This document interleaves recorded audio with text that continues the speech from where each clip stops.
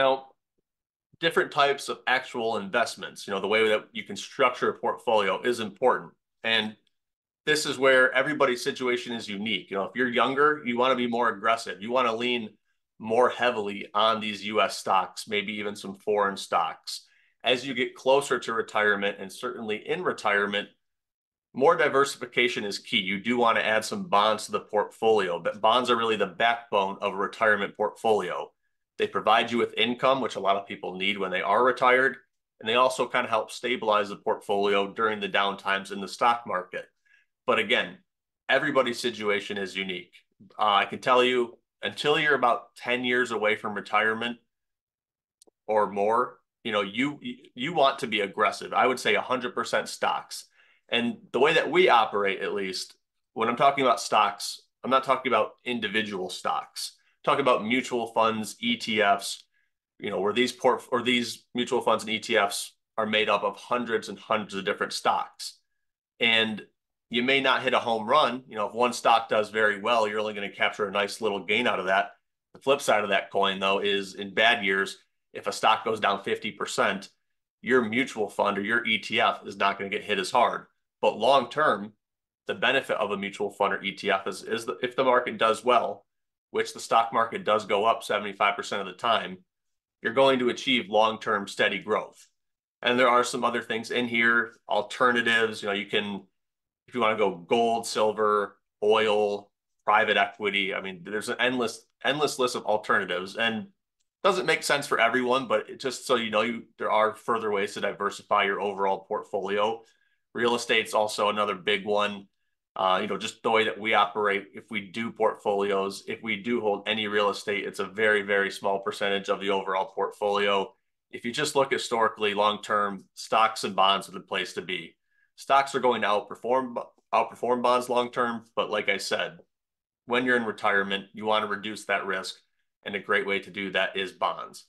And right now, um, for any of you, if you keep a lot of cash on hand, you know, just know that interest rates are pretty high right now, and you can get a decent return in either a high yield savings account or a money market fund, paying around four or five percent and you don't have to tie yourself in for any term like a CD, like a certificate of deposit, where you know maybe you take a 12 month CD, you invest some money, they give you five percent return, but you can't touch that money for the whole 12 months. A money market fund or a high yield savings account is going to give you more liquidity, more flexibility, and a comparable rate. Maybe not as high as a CD, but lower rate with more flexibility. And I bring that up because you know, just last year, my own savings account was paying 0.01%, which is nothing. And it's a joke in the interest rate environment that we're in right now. So I moved, you know, some excess cash that I had over to a money market fund where you can get more return. So it's just things like that to, you know, keep an eye out, see if there are opportunities out there for you to receive more interest, make a little more money. Now, you know, pros and cons of different types of investments. So, you know, I mentioned stocks. And when we're talking about it here, it is, we're talking about the individual side of things. So, you know, you can buy companies that you know are familiar with. You know, um, you can own Apple, you can own Microsoft, and there is high reward. I don't know if you guys have heard of Nvidia, or if you've seen what it's done in the last year or so. It's taken off astronomically, and you know that's where you do have the potential for high reward. But when we go over to the other side, you know the value can fluctuate. With high reward there is higher risk. So individual stocks on the stock side of things are about as risky as you can get.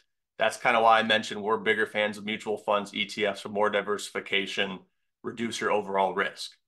We go down you look at bonds you know a bond is debt that's tied to a company or it could be you know a project or a municipality. Essentially essentially the way the bond works is the company is issuing debt.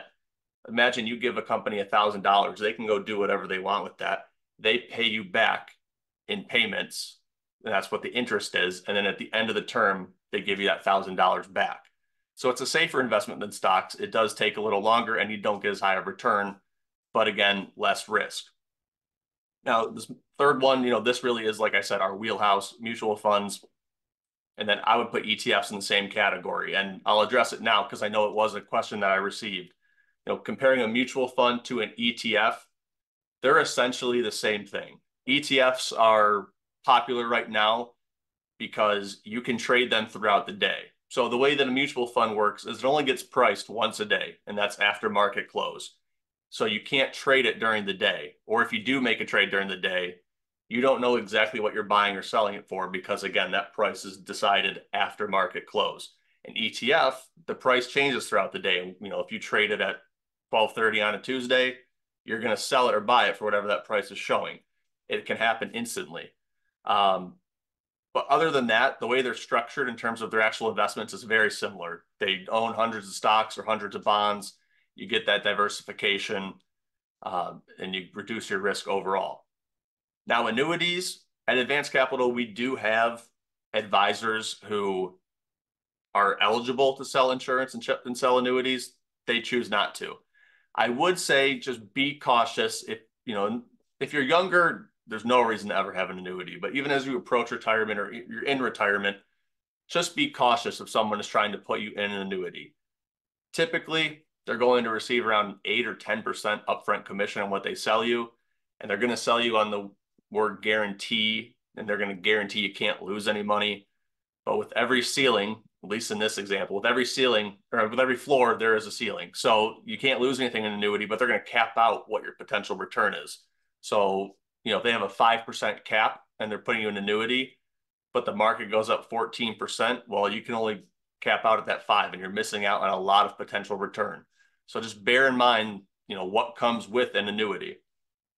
And then cash, you know, there is no market fluctuation, which is good, but it doesn't really do a whole lot. And that's, you know, right now is the first time in a very long time for us where you can actually make some money on some cash. So that's why I mentioned the money market fund, the high yield savings account because this typically, you know, it typically is low return on cash. So right now is a good opportunity to get some extra interest with low risk. And then the last thing is real estate. You know, when we're talking about actually buying real, like when, when we work, we will buy like real estate mutual funds. So these mutual fund managers, you know, they'll buy commercial real estate, residential real estate.